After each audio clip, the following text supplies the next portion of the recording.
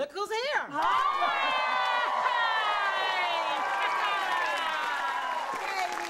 Grady. Oh, it's so great to see you. It's been way too long.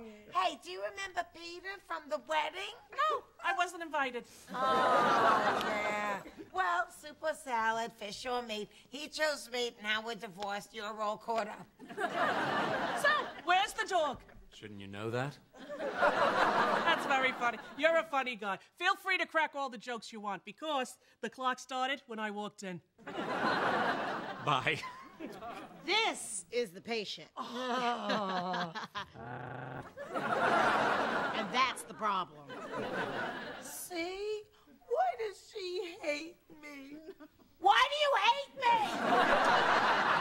Well, let's see if we could find out, okay? There you go, baby. Hello, angel baby girl. Hi. Really? Oh, I hear you. Uh-huh. Uh-huh. What you saying about me, Katie? Did you call her fat? Only because I thought she'd be healthier, and I thought if she lost a little weight, she'd look better.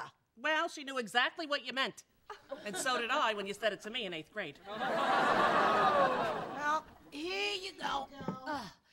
And by the way, if Esther says that I borrowed Fran's Jimmy Choos and spilt red wine on them, that bitch is a damn liar.